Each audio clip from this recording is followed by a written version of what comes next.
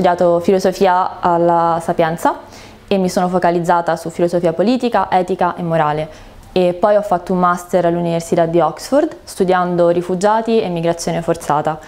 La Fondazione Naudi ha supportato la mia ricerca per analizzare l'implementazione di un trattato che si chiama Global Compact on Refugees, che non è eh, legalmente vincolante per gli Stati, ma si propone di dare un, un, insieme di principi e di buone pratiche per rispondere all'emergenza della migrazione forzata. Io ho analizzato il ruolo dell'Unione Europea in questo, in questo contesto e la sua collaborazione con l'Alto Commissariato eh, per i rifugiati delle Nazioni Unite, UNHCR, e sto portando avanti adesso il prossimo anno e in questi mesi e questo progetto nel mio dottorato che sto portando avanti all'Università di Ginevra, Graduate Institute for International Development Studies.